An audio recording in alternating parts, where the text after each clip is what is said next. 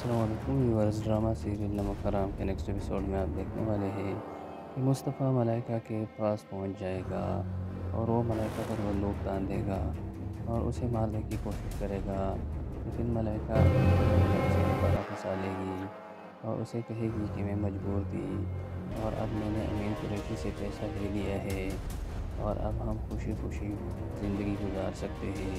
इसलिए अपना ये गुस्सा ख़त्म कर लो। जबकि दूसरी तरफ़ मुरीद अमीर कुरैशी को सारी सच्चाई बता देगा कि तुम्हारे साथ जो कुछ भी हुआ है, ये सब मैंने किया है।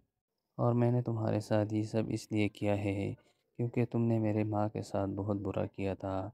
ये उसी का बदला है जो मैंने तुमसे लिया है।